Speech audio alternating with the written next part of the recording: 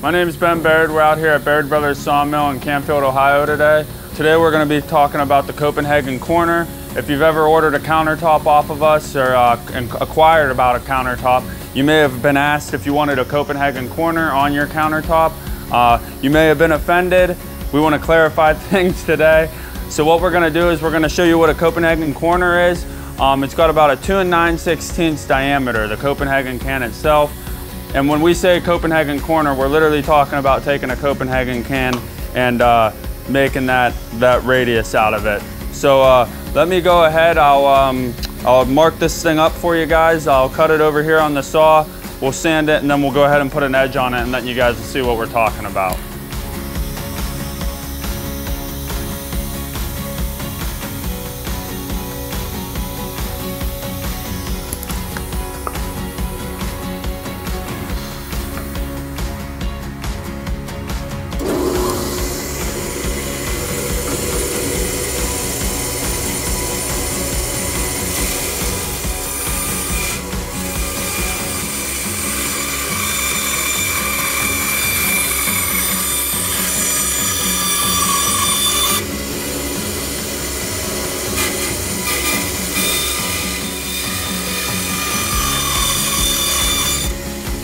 So now what we'll do is we'll go ahead and we'll sand this corner down and then I'll follow it up with putting a uh, edge on it.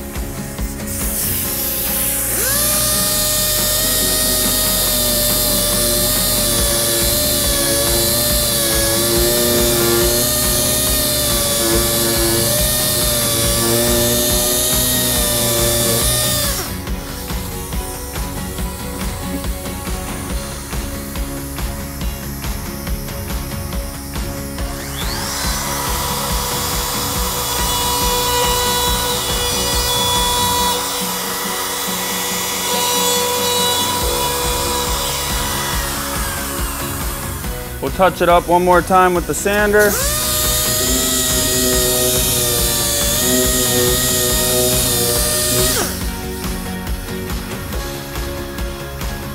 And as you guys can see here, we got a nice rounded corner. Um, like we discussed earlier, the Copenhagen corner. Unlike Copenhagen, these corners are not addictive. So uh, there you are, that's a Copenhagen corner for you. Thank you and have a good day.